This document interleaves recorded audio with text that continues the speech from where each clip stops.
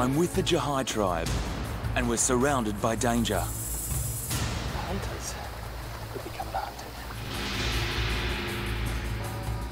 The world's oldest blowpipe hunters survive using ancient weapons oh, My goodness. Oh. The skill. and animal cunning. Incredible. Fantastic.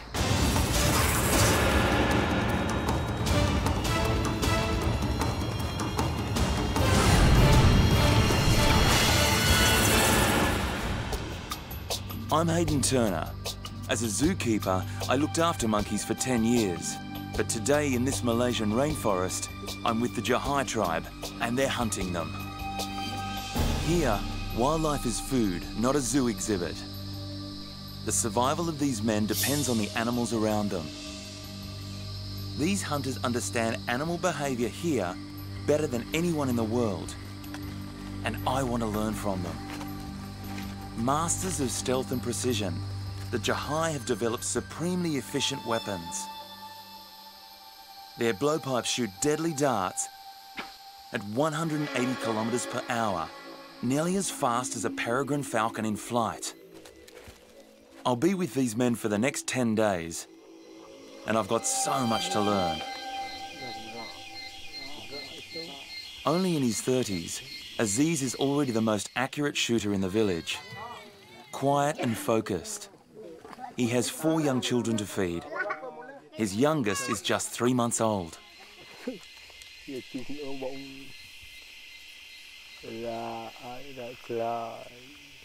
Quadri's the head of the small village where I'm staying. He has to ensure that all eight families living there are fed every day. At 45, he's been hunting for over 30 years. He's the best hunter in the village.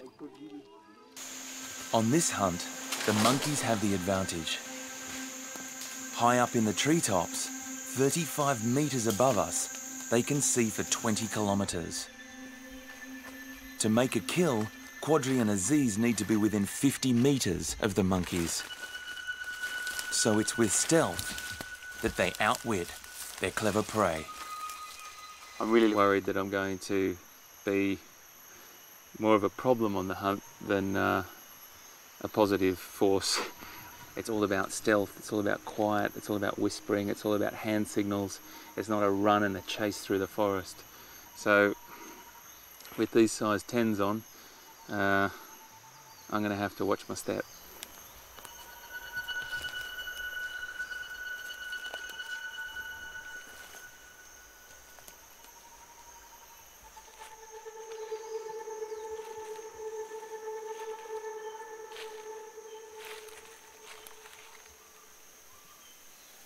So they use all their senses.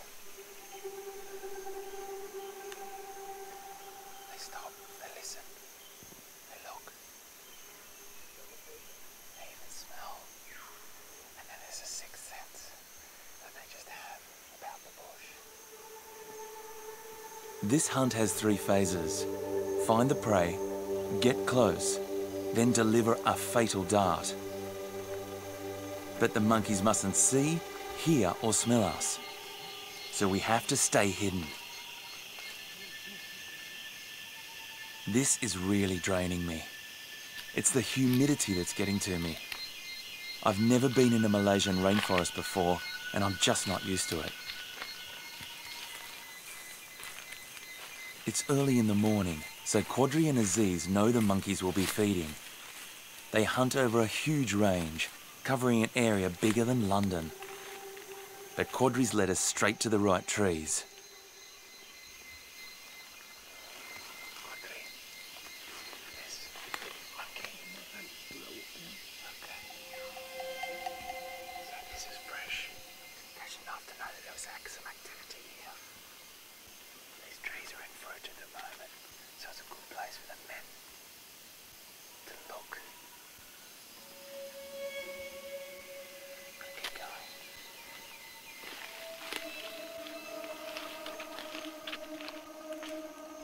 Got to spot the monkeys before they spot us. Intelligent, social, and highly vocal, they communicate with each other over a kilometre. alert one monkey, and the whole troop will take flight. Quadri spots some monkeys. Now the hunt is on. I think that's an interesting thing. This one piece will make 52 layers. Watch on mobile devices or the big screen. All for free. No subscription required.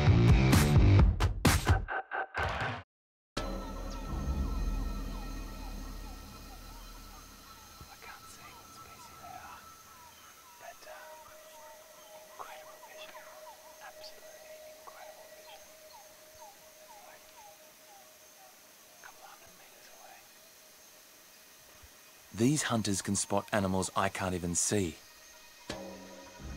Because they use their vision every day to find prey, their eyesight has become much better than 2020.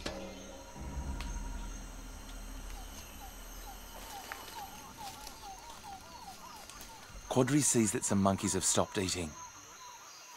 It's a sign that they're getting wary. We stop. Hidden from view, we watch and wait. We've already hiked five kilometres in 32 degree heat. The men have hardly broken a sweat, but I'm soaked through. Dusky monkey. Ah, monkey, monkey. Okay. So, I think Quadri's telling me that it's a dusky monkey. He just went like this, which is circles around its eyes. Dusky leaf monkey. Knows the species because of the troop's behaviour. Dusky leaf monkeys spread out when foraging, and now they're on the move. These monkeys can weigh up to 12 kgs, but they'll only yield about half as much meat as a turkey of the same size. To feed all 35 people in the village, the men need to catch at least two.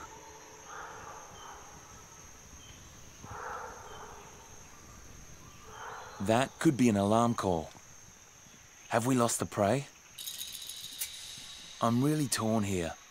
Part of me wants the animals to get away, but if we don't bring back some meat, there's only maize, rice, and tapioca to eat in the village, which is all the tribe had for breakfast, their only other meal of the day. Finally, I see one of the monkeys. The troop's within range, just 40 metres away. To better their chance of a kill, Aziz and Quadri separate.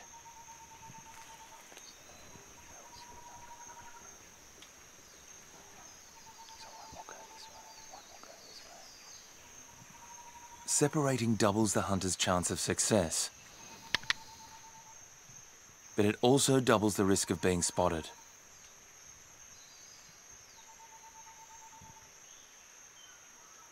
The darts are tipped with a deadly poison. Once it enters the bloodstream, it stops the animal's heart. That can happen in seconds or it can take hours, depending on where the dart hits and the size of the prey.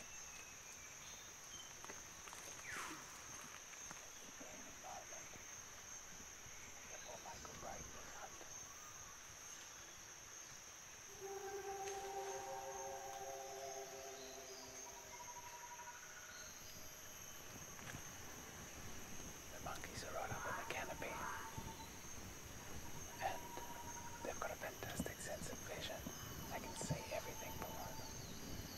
And yet, when a person is moving through the forest or an animal, they will spot that predator. If they knew we were here, they would have gone across the canopy. So I think they are unaware of our presence.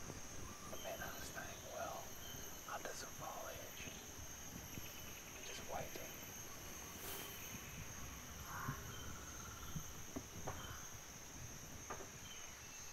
Aziz shoots.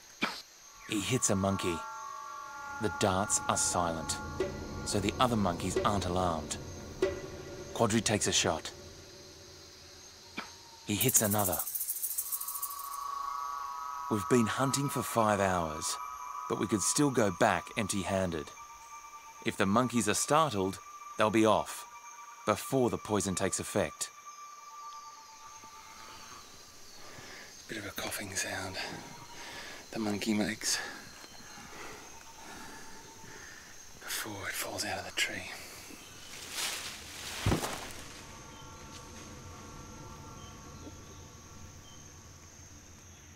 But the second monkey is still in the tree. I can see it up there.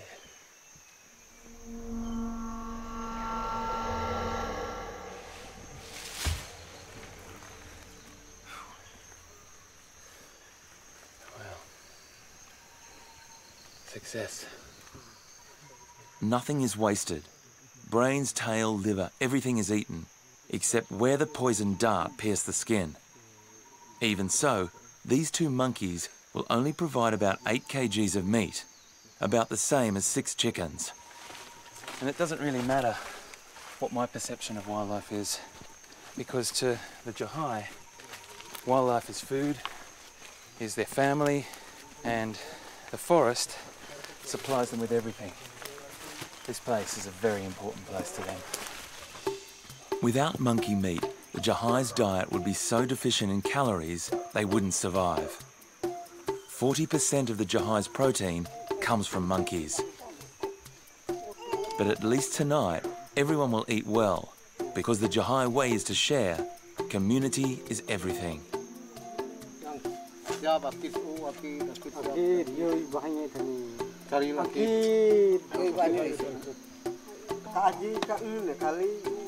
Each family receives an equal share, which they cook and eat at home. 80% of the Jahai's food is protein from meat or fish. The survival of the whole village depends on the hunters. The Jahai live in the northernmost part of the Malay Peninsula, near the border with Thailand, in the Belum Temengor forest. They are one of 18 indigenous tribes of mainland Malaysia. But as the Western world encroaches onto their land, their traditional way of life is being eroded. Today there are fewer than 900 Jahai. Their ancestors were the first people to live in this ancient forest. For thousands of years, they've passed their traditions and hunting strategies down through the generations. This forest still gives the Jahai everything they need. Shelter, food, medicines, weapons. It provides, but it also kills. The Jahai share this forest with dangerous animals. They can't grow many crops or vegetables as their village would be raided by hungry elephants. A tiger took a young boy from a village nearby. It's too dangerous for the Jahai to keep any farm animals or store any fresh meat. So the hunters must bring home food every day. And they use only ancient weapons. These pieces are made by hand, and all the materials come from the forest. So it's not like uh, you've gone down the shop to try and buy a few parts to make your blowpipe. Every single part comes out of the environment. The smallest bend and the blowpipe wouldn't work. These precision weapons must be as straight as the barrel of a gun. Yet Quadri and Yakub only use a razor blade and their eyesight. Yakub lives in a neighbouring village. At 45, he's a very experienced hunter and a close friend of Quadri's. And today, they've joined forces to hunt a giant rodent. But every time these men go hunting, they risk their lives.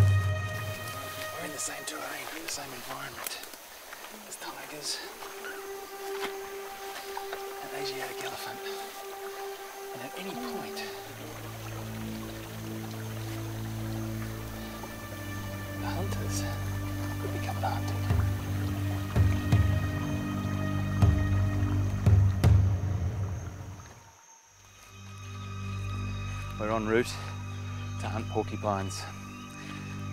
From what I gather, we're going to get the tracks, locate the burrow, and then smoke them out. Now, I've had first-hand experience with porcupines in the wild, and they can turn grown men into running children. Just one porcupine can provide 15 kgs of meat. High in fat and calories, one animal can give five times more meat than a small monkey. There are 24 species found worldwide. Today we're hunting Malayan porcupines. They have over 30,000 needle-sharp quills, weigh up to 30 kgs, and they're aggressive. When threatened, they will attack. Porcupine are nocturnal, so we're looking for tracks that will lead us to their burrows. Even in this dense undergrowth, it takes Quadri, Jakub and Caillou just minutes to find footprints. Caillou is in his 60s and a grandfather to two, but he's still an expert tracker. So here I can see the toenails there. Like here, here.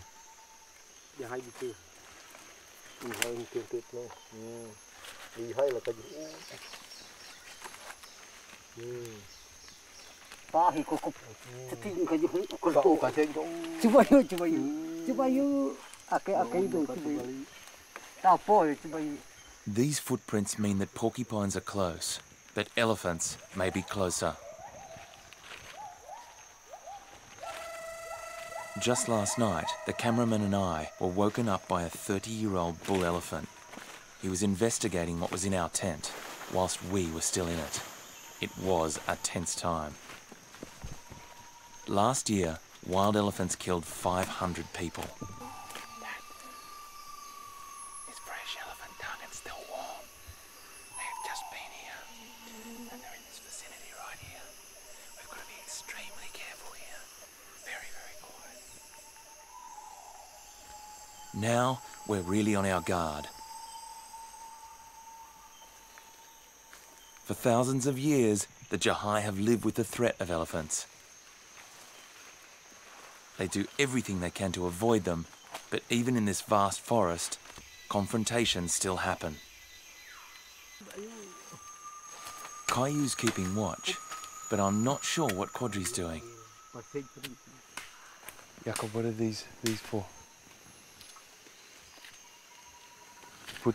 In the ground to block the holes. So you put them you put them like this. Yeah. Uh-huh. And that'll be in front of the hole. So the animal can only come out of one hole. First, we've got to find the burrow. Caillou is searching for the freshest tracks. Even though the prints are only four centimetres across, by spotting minute differences in the definition of the tracks, the hunters have led us straight to an active burrow.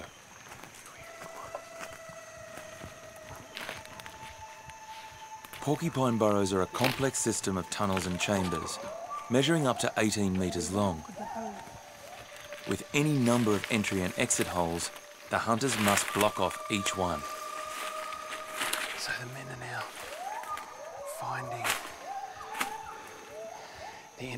Exit holes. The men are very, very cautious because these things have to be stuck in very, very hard. This is a formidable creature.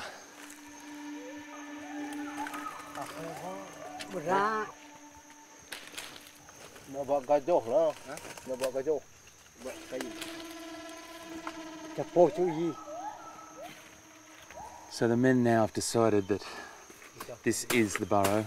These are the two points of entry and exit. They've checked for other areas and it seems to be ready to time to smoke them out. The plan is to fan in enough smoke to alarm the animal, but not kill it while it's still inside the burrow. dia lari mari sini Okay. So the smoking has started down there. They're fanning the smoke into the burrow. And the smoke will rise up the burrow. The men have strategically placed the sticks in a way that the animal's head will be able to come through, but not its body. And that way, Jakob will be able to spear it without getting a, a quill in his leg, or in my legs for that matter. You can see the smoke coming out right now, that quickly. The porcupine could come out here any minute. I really don't want to get close to this creature. A porcupine quill could go right through my arm.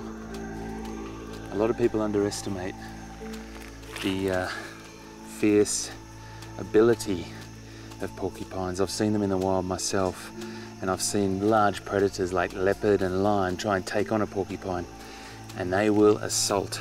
They will, they will back themselves in either sideways. There's another bat. Woohoo! Did you see him? There's a lot of bats flying out of here as well. I can see why the men and myself are a little bit on edge.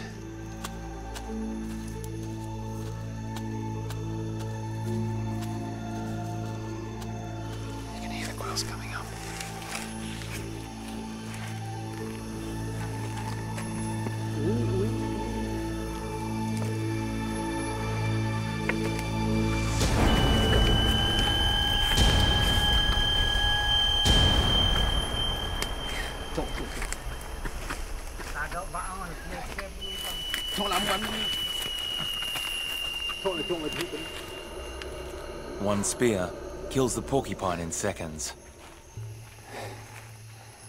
My goodness.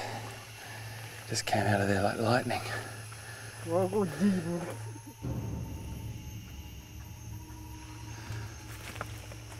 But this hunt isn't over. There's another one coming. Kejaran, kejaran.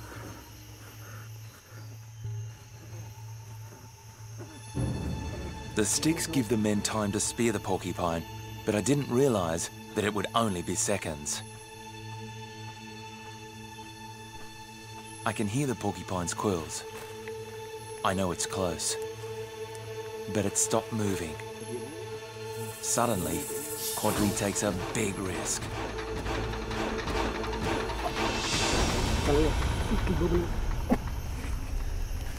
So that one's actually already dead. Asphyxiated by the smoke. Two porcupines from the one burrow. And this is on the top of the list of meat for the Jahai. That is a very, very good day's hunting. These two porcupines will provide about 30 kilograms of meat. This will feed everyone in Yokob and Quadri's villages tonight. But these porcupines don't just provide food.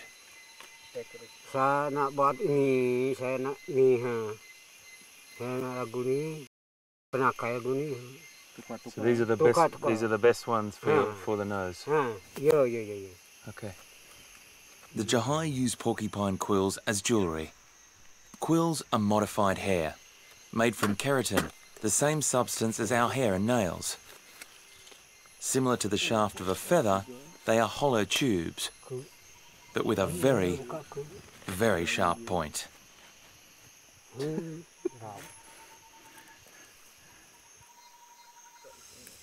When did you get your your nose pierced? Eh, Saya, semuda orang dulu-dulu lah orang buat. Orang cucuk ni. Kalau tak ada, dia, tak ada orang dulu. Orang dulu yang faham-faham tu lah. Ini bahasa, bahasa jahai lah ni. That would be a good one for my nose. Pilih, pilih dia, pilih. Pilih, pilih yang ada, dia ada ilok tu baru ada. Ha, ni. Okay, Kodri, go. Oh, takut lah. takut sakit. I'm joking.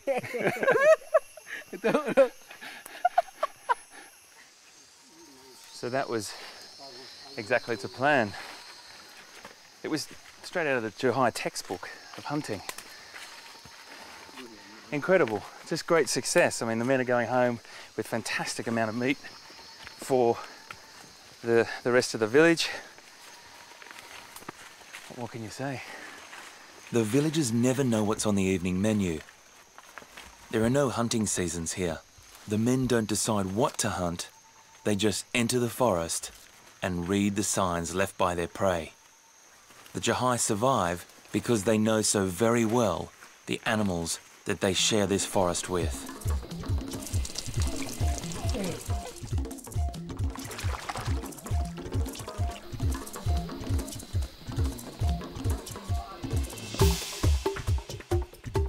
New day, a new hunt. We're going fishing. Over half of the Jahai's diet is fish. We're heading a kilometre downstream of the village, but we're not taking any nets, lines, or rods. All we need is these logs, because they contain a deadly poison, rotenone.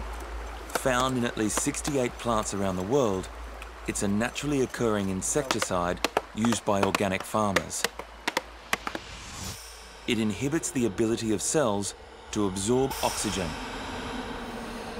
The men are about to release this poison into the creek. As it flows downstream, it suffocates the fish. They rise to the surface where they're easily caught. But first, we've got to extract it.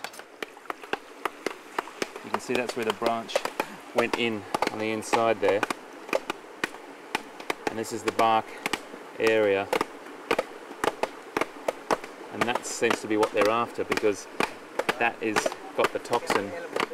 Rotenone is most deadly once it enters the bloodstream. So the men take great care not to injure themselves as they beat and then wring out the bark to release the poison.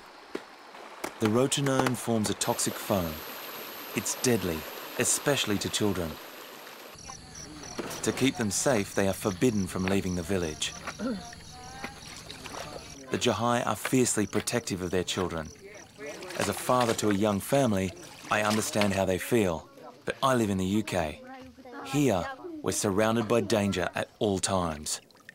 This is a very different world.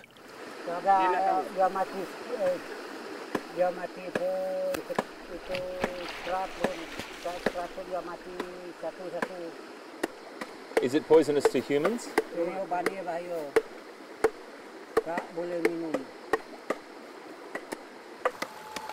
This stream will be deadly for three days.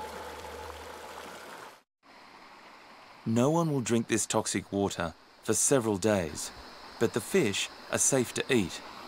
Only small amounts of rotenone enter their bloodstream through their gills.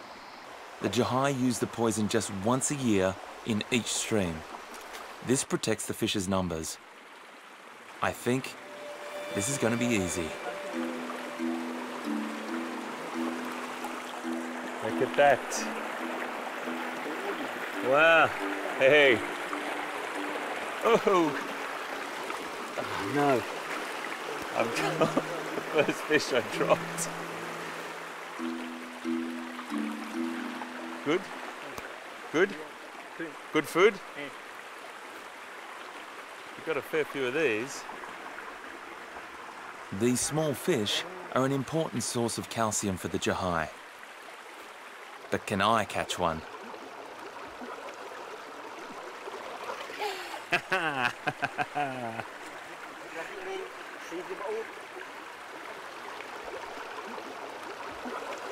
didn't think I'd be catching fish with my bare hands. They are a little bit stunned though. It takes half an hour to collect all the fish from this small creek. But this isn't the only toxin that the Jahai use. Masters of poison. They know the Ipoh tree produces the deadliest sap of all. Just half a teaspoon could be fatal. This tree is the source of the Jahai's killing power. They've been using it for thousands of years.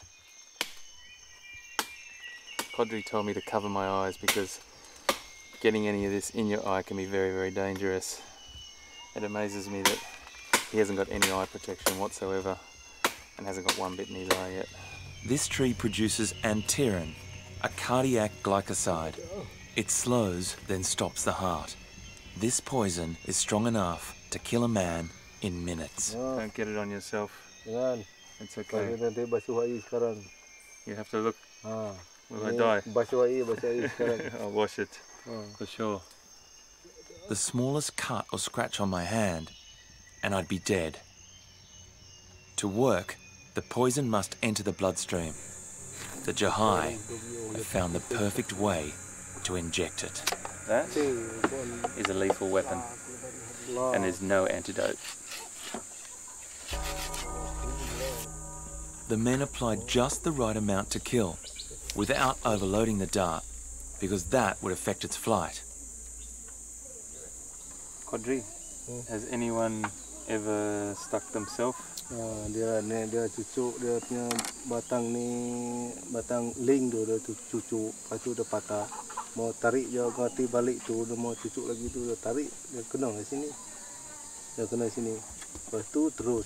Dia kata terima kasih. Dia kata dia punya anak tu cakap dia pesan dia punya anak tu terima kasih anak saya mau meninggal dah. Dia kata. Oh. sayang dia aduh eh, tahun lepas dia tahun lepas These darts weigh less than one gram and are 30 centimetres long. This length gives them greater accuracy and a better trajectory. With a hand-carved flight for stability, they can travel over 180 kilometres an hour. They fly silently, so the hunters don't alert their prey when they miss. It's a crucial piece of Jahai engineering. So they're just slowly, slowly shaving little pieces off this palm frond into a, a round skewer-like dart, and then finally, finally honing the end till it's like a needle. Oh, Ay, ay, ay. dengan pakai barik. That is so sharp. The hunters only take 10 darts per hunt. I would need 100. oh, mak, mak, eh, kalau 100 dia lamar sikit 100. 100 tu lamar sikit. Mungkin dua hari baru habis 100. I would finish 200 in one hour. Rakit. Ah, Mawe.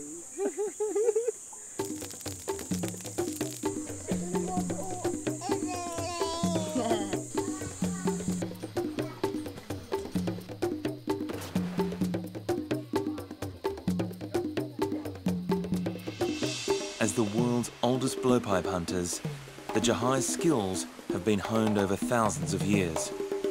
Each hunter then perfects them over his own lifetime. And now, it's my turn. So this is blowpipe school.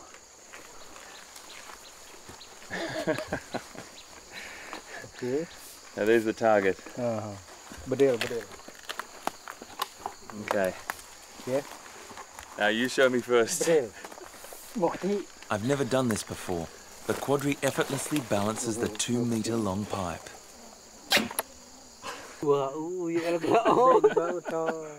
Berani. First go. Ah, Oh no. Kan is- I'm never going to be able to do this. So, what do I have I've got to a do? lot to learn. Quadri's been hunting since he was 12 years old. This is not going to be pretty. Okay.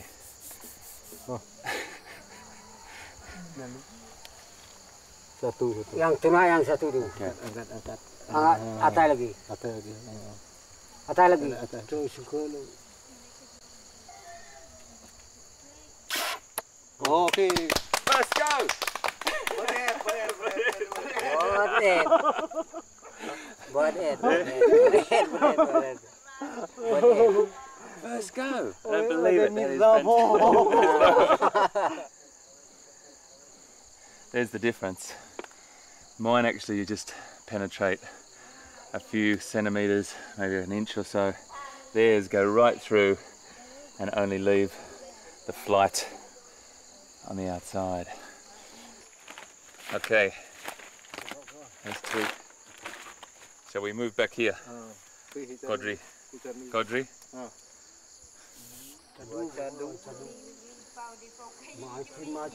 Now, it's time to up the stakes. Feeling very unconfident at this point. The men can shoot accurately up to 50 metres. They could hit a can of drink from the other end of an Olympic swimming pool.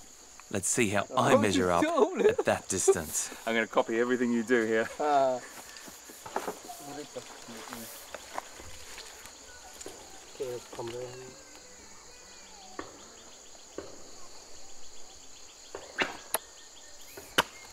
That is incredible. But it Uh, but it, but it. That is incredible. Right on the target. Oh, wow. Badal tu. Fantastic. Oh boy, here we go. This is going to take a. Okey, air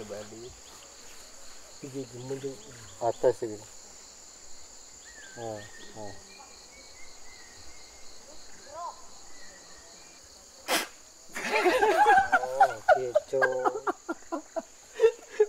I didn't even make the target. I didn't even make the range. Sekali, sekali lagi. Are you breathing from here? Ha. Yeah. Hmm.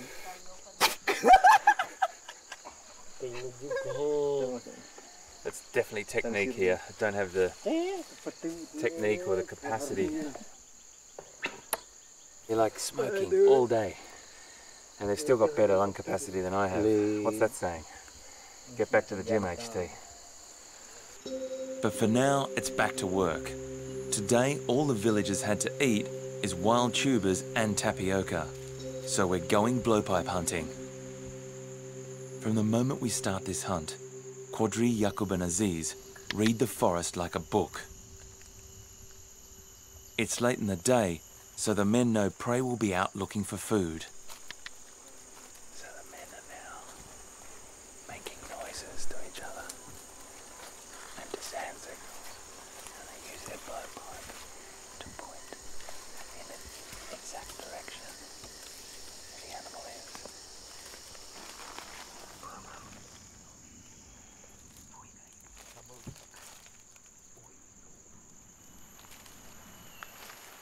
The men just heard. I heard it also.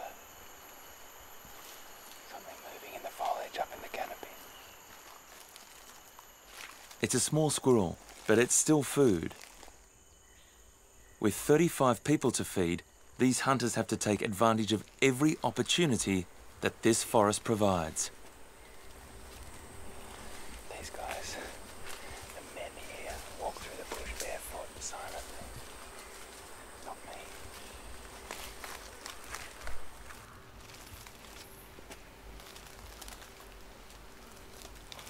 Suddenly, Quadri stops us. The squirrel has frozen. It's on full alert. Squirrels can see in a 300 degree wide arc with exceptionally sharp focus. Without moving its head, it can see in detail what is below, above, and next to it. Once the squirrel relaxes, it's safe for us to edge closer. Agile, camouflaged, and only as big as a man's hand, these squirrels are tiny targets. I can barely see them, but Aziz is preparing to take aim.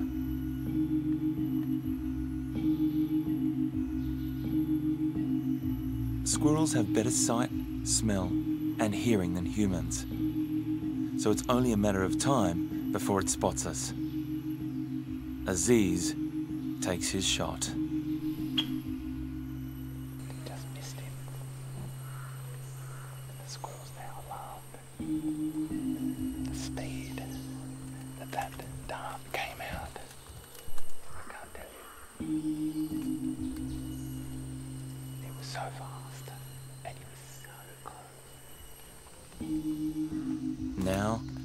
Starts all over again. It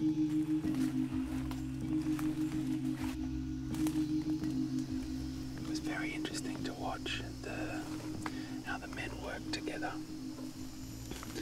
like predators would do in the wild. From what I've seen, there's a there's two snipers going out. One's actually ready to shoot. The other one is a spotter. Their teamwork pays off. Aziz has a squirrel in his sights.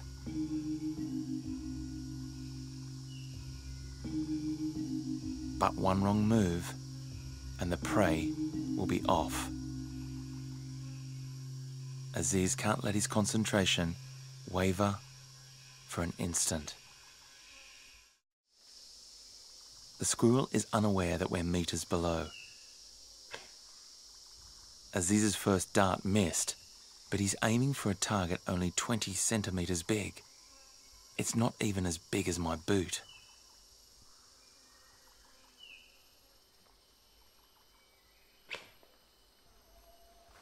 He's hit it. The poison works within seconds on this small animal.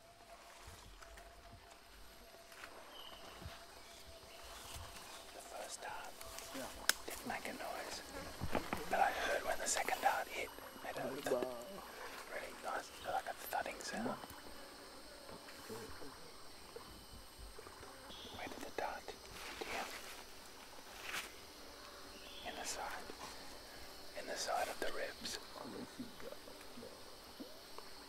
And the men can actually tell by the sound of the impact of the dart where it has hit the animal on its body. That's it. Right there, you can see his tail just in the tree there. They're just trying to knock it out of the tree right now. Louis,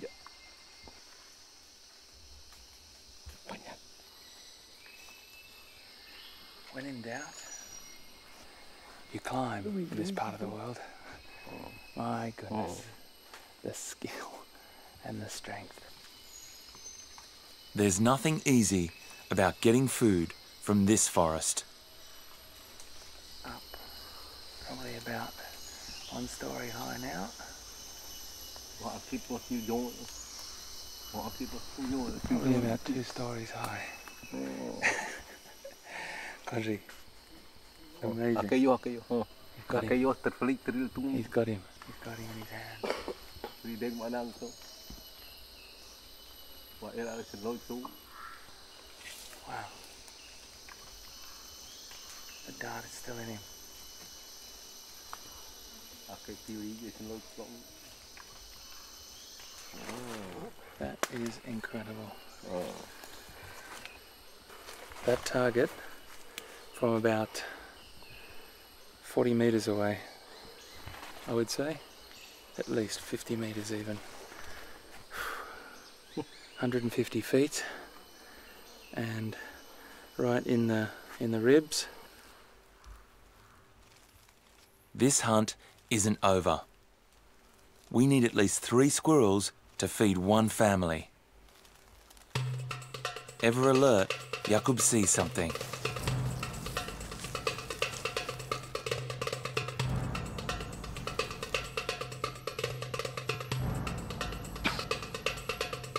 Aziz hits it, even though I can't see what it is yet.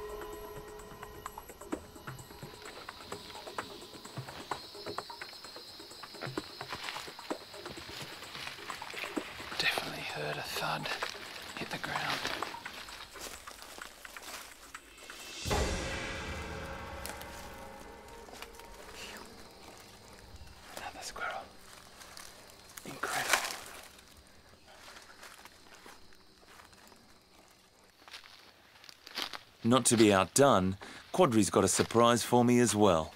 Another one. Another one. Where? Where? Where did? Just under the Nam- Nampak ni? under the arm. Wow. Wow, wow, wow. That's like the best hunting professional. Incredible, fantastic.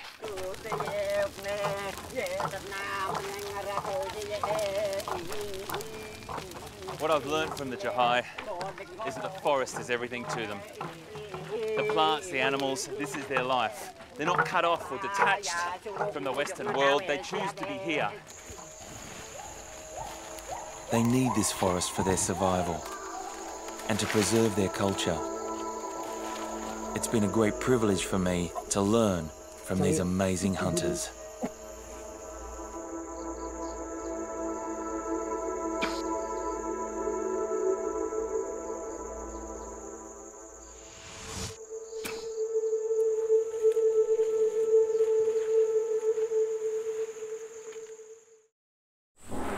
I'm going to take you into the world of the greatest hunters I've ever met. That's the claw marks right there. The San tribe are masters of the desert. They're charging, they're charging. Keep it rolling, keep it rolling if you can. Tracking their prey for miles. Killing with poison arrows. Yeah, my heart rate's up. My heart rate's up.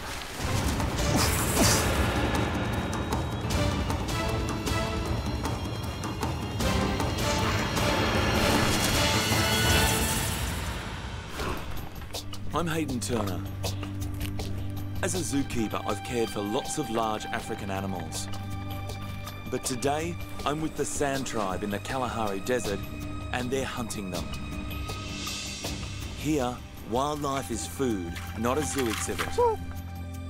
As hunters, these men's knowledge of animal behaviour here is the best on the planet. They have tracked and hunted animals in this African desert for around 60,000 years. They use arrows tipped with heart-stopping poison to kill their prey. I've got a lot to learn. This is absolutely relentless. It's difficult to put into words what's happening right now. We've been walking since six o'clock this morning. It's now about 1.30 through this incredible heat, baking earth, acacia thorns throughout your body. My skin feels like it's actually melting off. And you're constantly getting caught on stuff. The men just do it with such ease. At the moment, that water right there looks tasty to me. Today, five of the best hunters from the village are taking me under their wing. They are led by Ngao, an elder with over 50 years of hunting experience. Ngao, now in his late 60s, has studied animals nearly all his life. This desert is his teacher and classroom. Also on the hunt are Touche, Toma, Ao, and Neishi. Their village has 29 mouths to feed, and they haven't eaten meat for six days. This hunt is not for sport. These men kill for food. We've picked up the tracks, also known as spoor, of a small antelope. It's a duiker. There are over 15 species of duiker in Africa, and all are armed with super sensors, oversized ears that provide exceptionally good hearing, and a brilliant sense of smell. The duiker will be a seriously hard target to track. Tracking can be broken down into three main sections simple tracking, systematic tracking, and speculative tracking. Simple tracking is the sort of thing I can do follow an animal's tracks to a waterhole or something like that. Systematic tracking is a little bit more difficult. You have to know a bit about the animal's behaviour and tracks and signs, symbols that they've left throughout the bush. But speculative tracking is when you come up with a plan or a hypothesis or a storyline, and that's what these men are so knowledgeable about. The men visualize the movements of the animal we're hunting to predict its behavior. They are virtually becoming the animal. I'm in Namibia, southwest Africa, in the Kalahari. Here, desert dominates the landscape. The Kalahari Desert covers an area about half the size of Mexico, just under a million square kilometres. The San people use two unique languages, one for village and family life,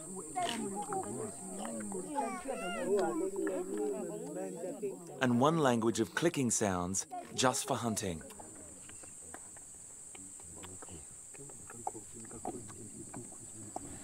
You can hear the language that the men are using. Their language. Experts think that the Assyrians clicks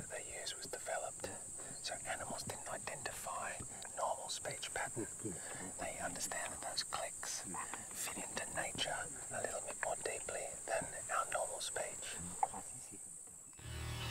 The temperature now is 42 degrees in the shade. There's not a drop of fresh water above ground. We've found these droppings. They're still moist. They can't be more than two hours old in this heat. And there are other signs of duiker as well. The guys are looking at these fresh tracks right here. Just discussing what direction they're going. But for now, there's a much bigger worry. Three bull elephants are feeding close by.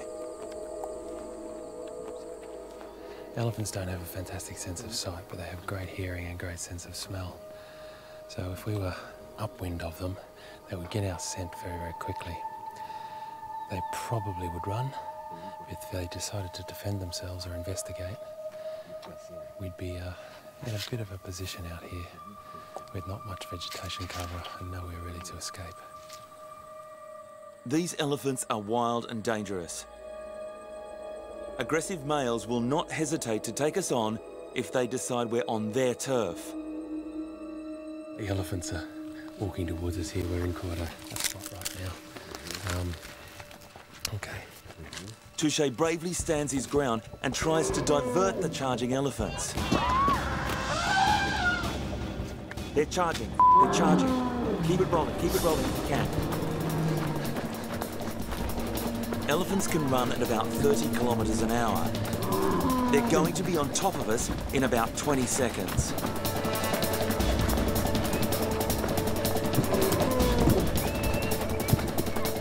I know we need to regroup, stand our ground, and turn the elephants around by making as much noise as we can.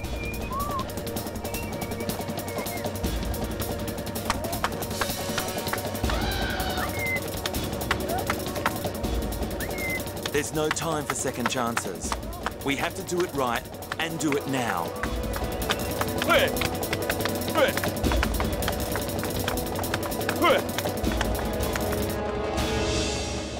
It works.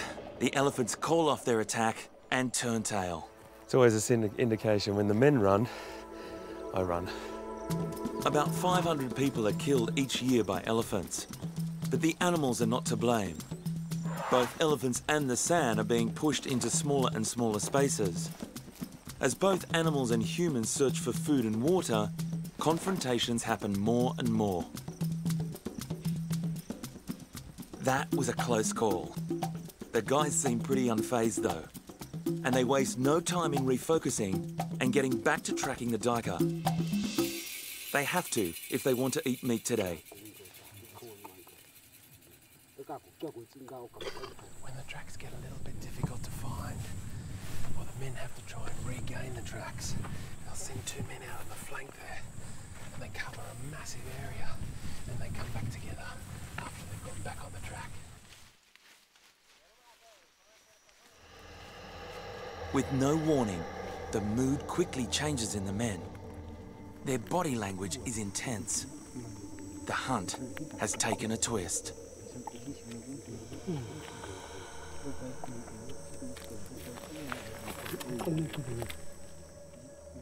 Leopard is killed. My gosh, a leopard. Gosh, I've got goosebumps. Whew. We are right on the spot where a leopard has made a kill. Leopard, still duiker. duiker. duiker footprints there.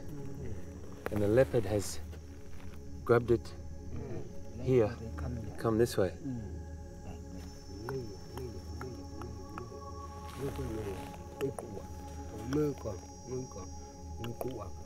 Look at this fur here. There's a little bit of fur just here. Right there. Right there. And then it's dragged it through here. Wow. Wow, wow, wow. Ah, yeah, yeah, yeah, yeah. So exactly what a leopard would do. It would, it would walk like this, and it would hold its prey in between its legs, like this. Like this, dragging it, dragging it. The leopard is likely to be feeding on the duiker close by. Look at the drag marks here. Oh, look at that one. There's the back pad you can see right there. That's the back pad of the leopard paw. And another, all the pads there. And this is the drag mark right through here. Absolutely beautiful. I'm not entirely sure what's happening here, but we're following leopard prints.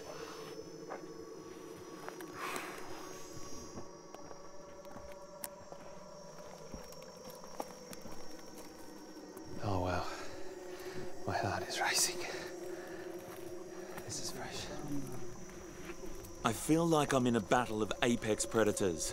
Me and the men versus a big cat. The winner gets to eat tonight. Not a situation I ever imagined myself getting into. And this is duiker fur. And this is the opportunistic behaviour of the San. If something comes into their path, they will just follow it. We might get there, the leopard might be there, the kill might be there, who knows? Oh.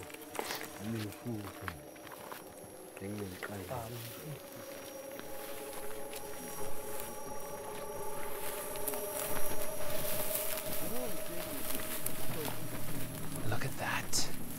Look at that. That is incredible. Armed with brilliant camouflage, the leopard could be 10 metres away in the long grass, and we'd never see it until it was too late.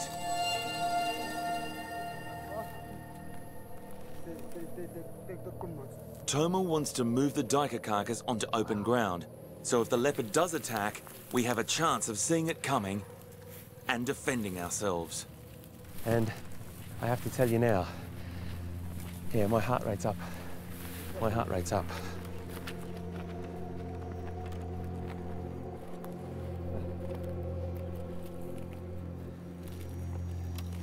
This is where the leopard is already fed. It's taken out the chest and it's eaten, look at that, straight through those ribs. The power that's gone straight for the heart and all those really, really nutritious organs. And then it's stashed it in the bush to come back later. That's what we've got to keep an eye out on.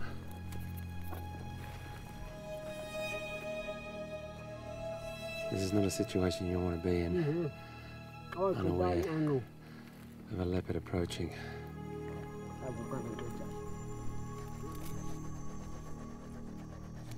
These people rely off their environment. This is a classic indicator of predator versus predator.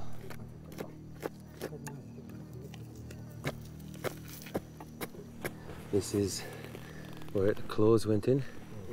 Look at that. One, two, three, four. That's the claw marks right there, where the animal's been held.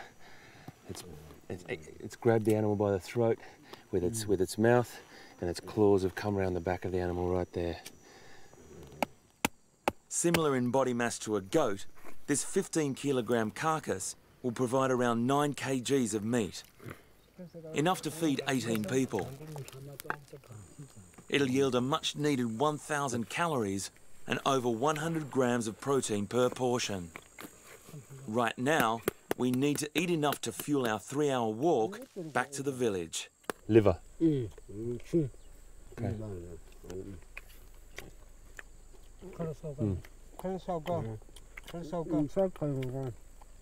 Dry. Mm. Mm. Very strong. The rest of this kill will be a vital, nourishing meal for the women and children. Life in the village is a day to day challenge. Illegal poaching and government pressure has eroded traditional ways. By selling handmade jewellery or trading small amounts of livestock, families make just enough money to buy maize and flour. When possible, meals are supplemented by hunting meat, and giant rodents are a firm favourite.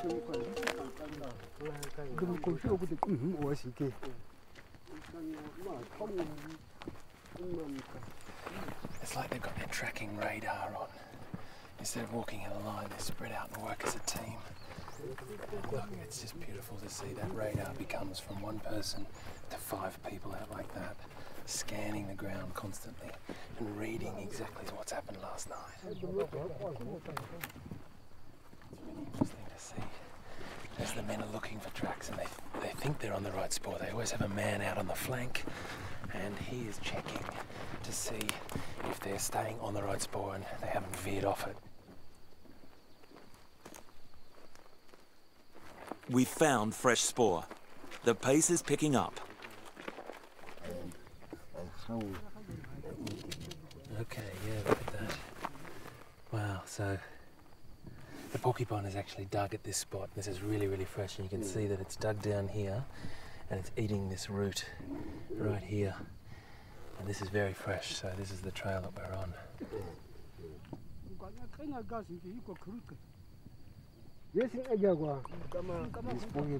Porcupine here. Okay. So we've come to this clump of vegetation here, and there's porcupine burrows all the way around, but the men are looking for the freshest tracks into one of the burrows. We'll only have enough energy in this 45 degree heat to dig one or two burrows out. There is no room for guesswork. We've just come to the other side now. Porcupines have several entrances to the burrow so they can have a quick escape, but the men have blocked some, but this seems to be the one that's going to fit us. Well, him anyway. Porcupines are the largest rodent in Africa. They're nocturnal and weigh up to 30 kilograms. Their underground burrows are like secure bunkers, hard to breach, with a secure central sleeping area and multiple escape routes. The only way to find the porcupine is for Toma to go into the burrow. Toma is a shy, quietly spoken man. What he lacks in conversation, he makes up for in bravery. Because he is the chosen tunnel guy. Personally, I can't believe that someone has the guts to go in there in the dark. If Toma gets too close to the porcupine, chances are it will be super aggressive.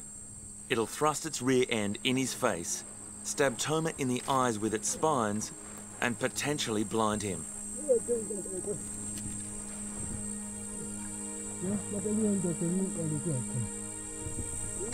These porcupines are the real deal.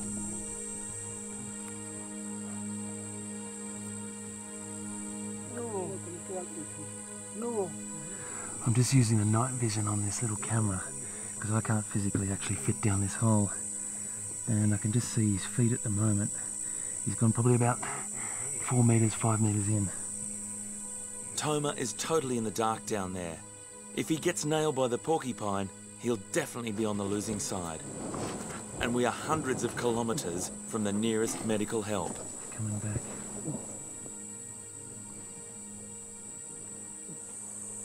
có cái covid thì nhiều ừ.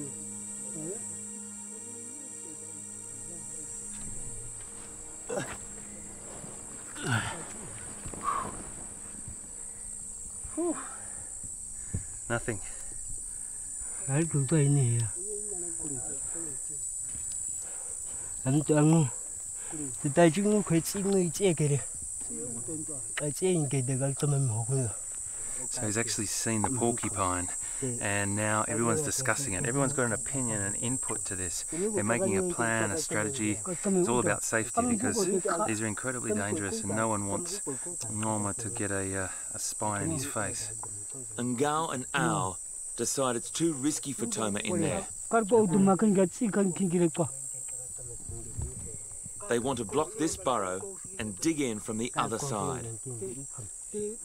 All our effort will be put into digging out this burrow. Failure here will mean we won't have the strength to dig anymore. No kill means our only meal will be maize and bread back at the village tonight.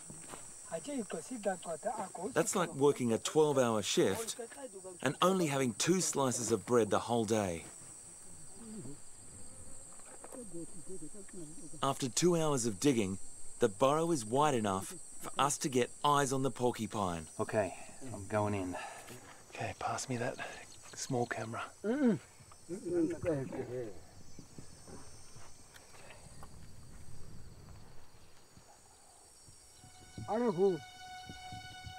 These are incredibly dangerous, and that's why there's so much strategy. He's just moving.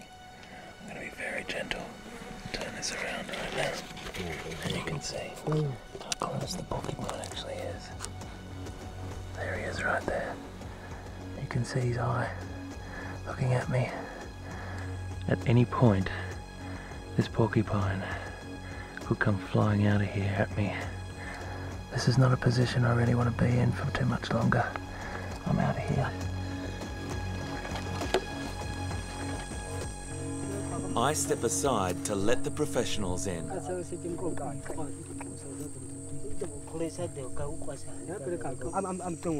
Ngal widens the burrow so Toma can get a clear shot with his spear. That's the sound of the hollow quills on the back that they use as a warning signal. Back off, back off.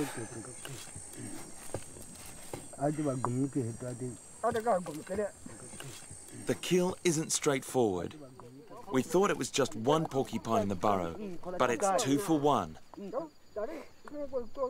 What Toma actually saw from the other burrow was two porcupines really close together, which means double the danger here. Their spines are layered and act like a shield.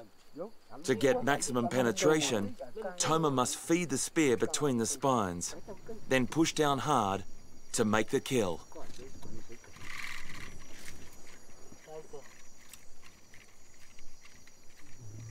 They speared one, now they've speared the other one, and uh, now they're just trying to get them out because the quills are all facing backwards and getting caught on all the roots, so they're just trying to get them out.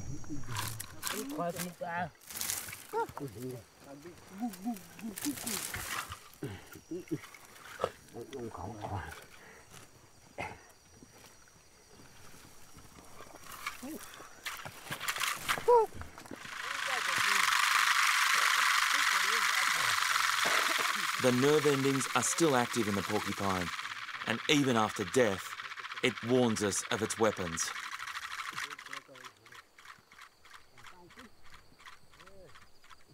Here comes another one.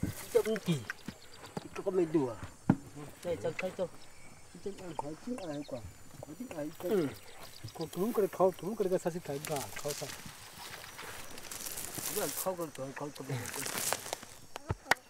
The desert has provided meat for us.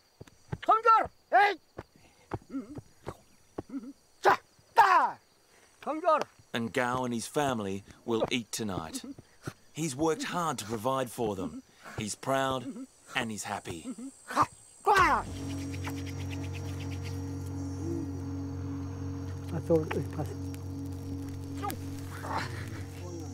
Two fully grown African crested porcupines.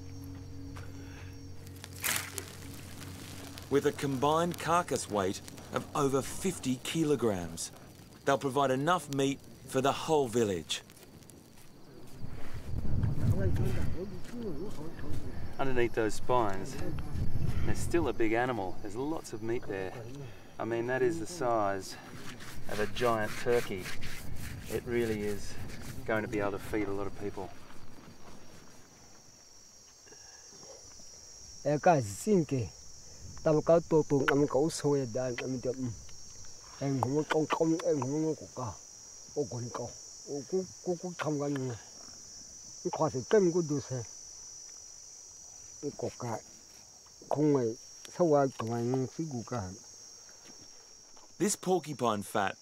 will give us around 1,800 calories for each hand-sized chunk we eat, which our bodies will convert into a huge amount of energy. This is ideally suited to long periods of sustained walking and hunting. So this is the really fatty part, the back part of the porcupine. It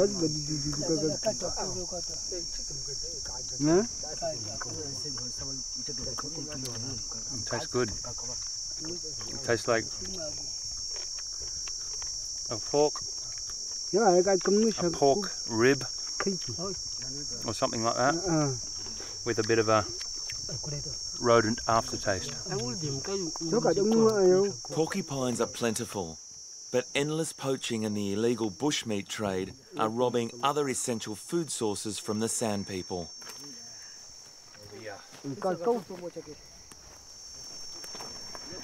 It's a long walk home, but I tell you, this meat is obviously just so special. Six hours of digging and hunting, and look what they've got.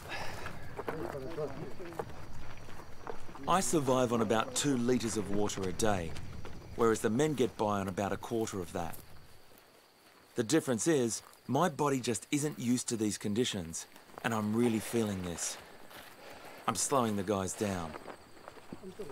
And I really don't want to, because the men need to get the meat back to their families. And Gao has noticed my pace slowing, but he has a solution. We've been walking for about six hours today, and I would have just walked straight past this bush, but this is the local knowledge that you need to have to survive in a place like this. This tuber it's a tiny little plant underneath this fire stick bush, and the men are showing me here is juicy tuber they can use to get water off and survive. There's no surface water at the moment, this is the dry season, and getting this out and the men being able to get a drink might be the difference between them getting back and not getting back. We've been walking for six hours now. That and the heat are really starting to take its toll on me. To stop dehydration damaging my body, I need at least two cups of water. Tiny little shoot coming out of the ground. You wouldn't think that that massive thing is under there. Certainly does take knowledge to know hmm. that exists under the ground from that little hmm. shoot. Look at that. So, this is a piece of tuber that could save your life. Hmm. Tastes a little bit like a raw parsnip or root vegetable. It's got a really bitter aftertaste, but really juicy. Lots of moisture in there. Mm.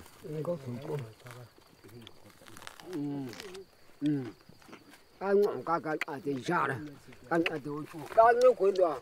Ô cá cũng sinh kìa. Câu chỉ. Qua là quên sinh kìa. Mm, keep going. It's actually really good. Really good.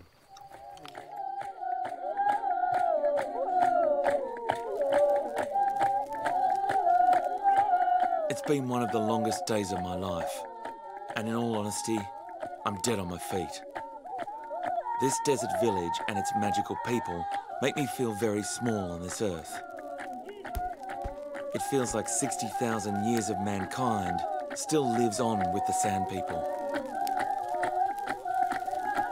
I get the feeling tomorrow is going to be another eye opening day for me.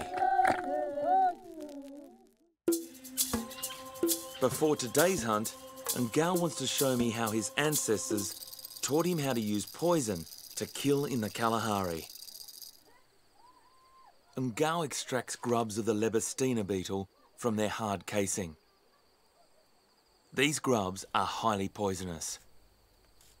It's this poison that the hunters use to give their arrows a deadly dose. The chemical name is diamphotoxin. When the arrow enters the animal, the poison starts to break down the walls of the red blood cells. The effect is similar to being bitten by a cobra or rattlesnake.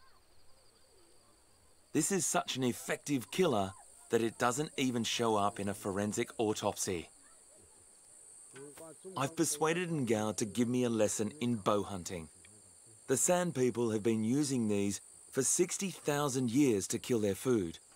I get the feeling it isn't as easy as it looks. And there's a pretty intimidating audience.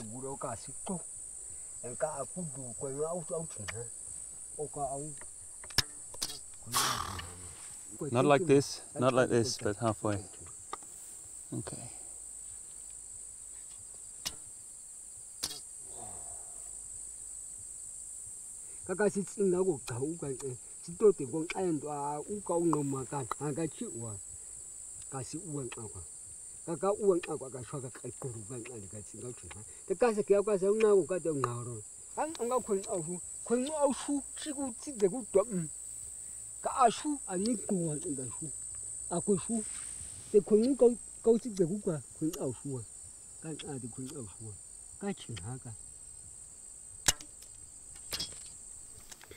That ka was, ka chi ha au au ka shu ta ka chi ha that was my verbal uh, bow and arrow school report. Seems I'm doing all right, but I need a- few pointers. And uh, your knees seem to get in the way if I the, the way I was sitting. Te ka ka khon au ka am na le kwa de ka le shu ko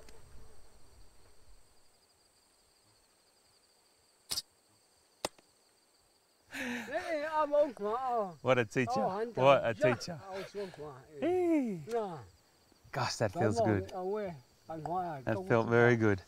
From this position, when you feel a little, a little sort of stiff and everything, and then getting down low, really does feel like you're, you're drawing back, and your, your whole body is actually going through that aim of that arrow. It's midday. The temperature is already up to 45 degrees in the shade. Today, I might have to walk more than 15 kilometres. The men's walking pace is more like my jogging pace. After Ngal, Touche is the second most experienced hunter. He's been the wingman to Ngal for many years, honing his skills and learning from the master. Three hours after leaving the village, Touche picks up the tracks of one of Africa's toughest antelope. This is Gemsbok. This is a, the antelope with the very, very straight horns. So beautifully adapted to these, these very arid and dry conditions. In medieval England, horns from the Gemsbok were sold as unicorn horns. Today they are still high on the list for big game hunters.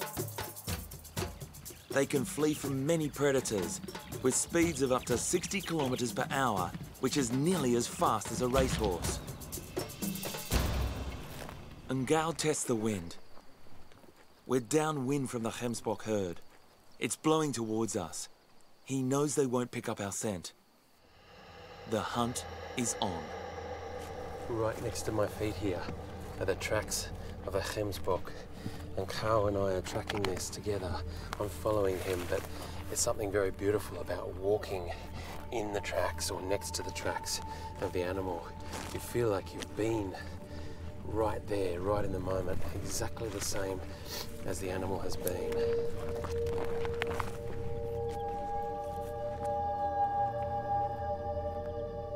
The wind is in our favour.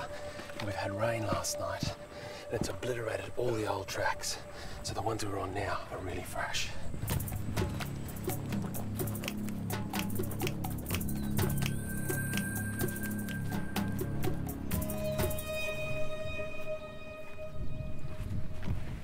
Okay. Carlos just told me that this, believe it or not, is the scrapings and digging from the Gemsbok, from an antelope. You think it'd be done by something like a, I don't know, a burrowing animal, but it's used its hoof to dig out like that. And if you look down here, there's a there's bite marks on this tuber that the animal's taken bites out of. Just there, can you see that? This is one of the fantastic adaptions that these antelopes have, the ability to know where to dig to get something that. Ngao locates the herd of Gemsbok about 500 metres ahead of us. While grazing, they're relaxed and unaware of our presence. On Ngao's instructions, we fall back to make a game plan.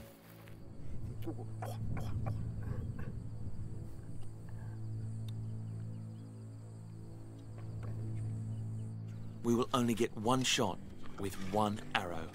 If we spook the herd, the hunt is over. The pressure on us to provide for the village is massive. I'm pretty nervous about this hunt. This would be such a great catch for the men. I don't want to mess it up for them.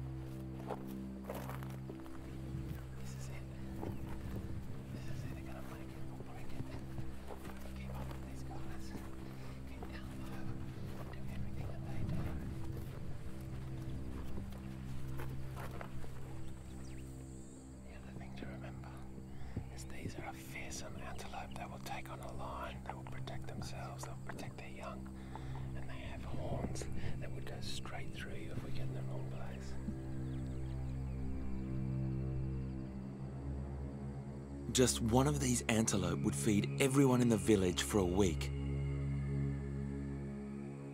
And Gao and Touche have so much hunting knowledge at their disposal. I definitely feel like a new recruit here.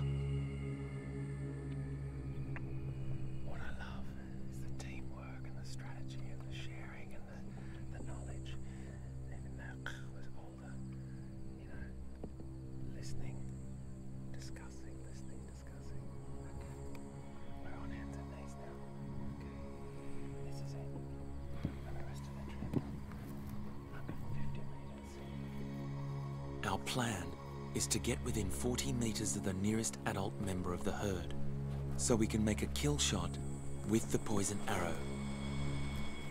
Every time I put my hands and knees on the sand, it feels like touching a stovetop. The heat is really challenging me now. And Gao and Touche do this in bare feet and still manage to move silently and effortlessly.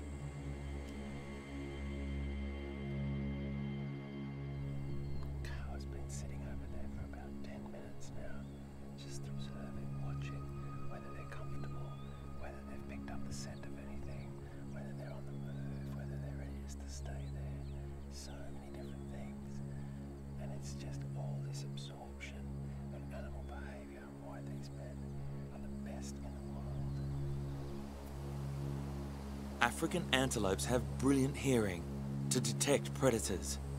Right now, we're the predators, and we have to be so careful not to blow our cover. Ngao decides this is it. It's time to make our final approach and take our one and only shot. Something is spooking the herd. Agonizingly, they bolt.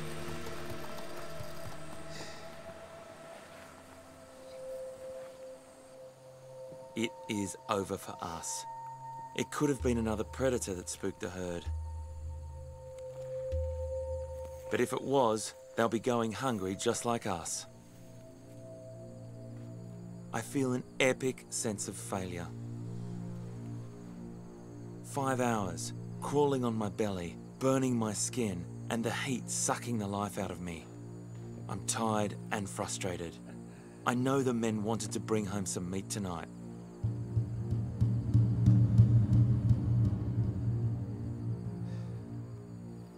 I really feel for the guys who all have families to provide for.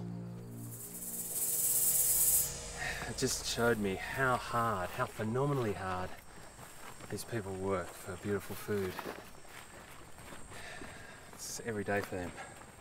For me, I don't know if I could do it. Ngao and Touche aren't giving up so easily. They want to use the last hour of daylight to hunt.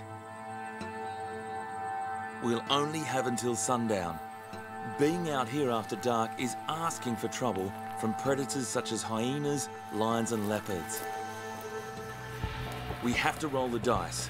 This will be our last chance to make a kill. Our challenge in this hunt is that the animal we're after has an armor-plated head, runs fast, and can fly. Ngao and Touche will have to hit a moving target, and the closest we'll get is 30 meters. This flighty flock of birds are guinea fowl. There are several species in this part of Africa. they can be found in flocks of up to 200.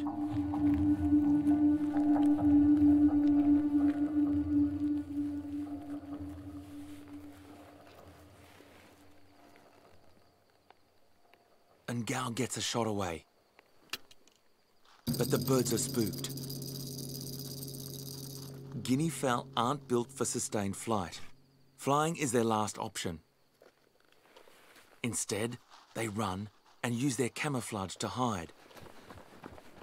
I go jogging and get to the gym every week, but the fitness and stamina of these men is another level. And Ngao is nearly 70. Chasing guinea fowl. You gotta stay down low, low, low, like this. So you're doing this little leg squat for about 100 metres. And then the men unload about three or four hours each and then sprint. I'm not sure if they've got a bird or if they're just trying to get their arrows. They grab their arrows really quickly and then they go again. It's incredible fitness of these men. One of these plump birds provides more meat than a supermarket chicken. That's if we can kill one.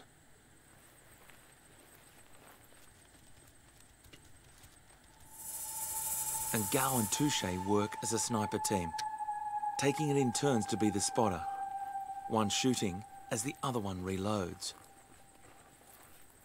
All in perfect silence. Unlike army snipers, though, our ammunition, the poison arrows, are not expendable, and each one must be retrieved and, if possible, mended.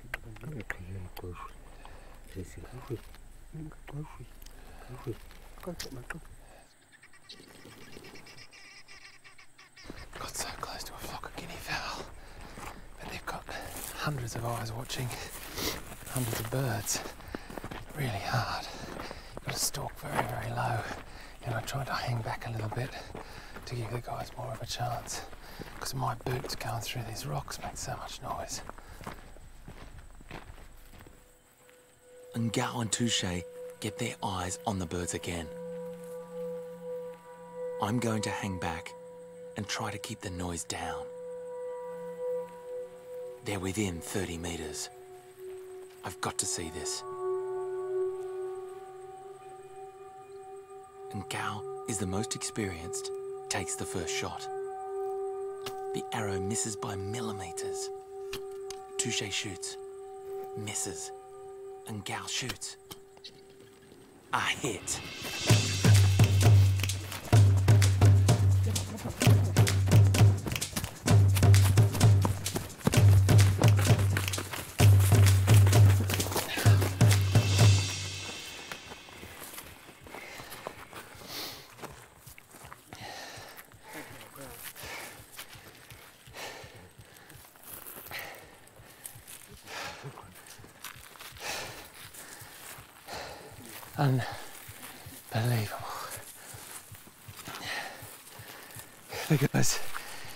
Interested in finding the really important part of the arrow. I'm trying to bring my heart rate down. A perfect shot, straight through the chest cavity. Sam Cow is showing me a perfect example here of how the arrow works. The arrow has broken off at exactly the right point. It's broken off just there at that link shaft, exactly as it's been designed to. The poison takes effect and the bird dies. Guinea fowl are very, very plentiful around here. It's called a helmeted guinea fowl. You can see by that really wonderful structure on its head there. Good food, yeah? Yeah. yeah.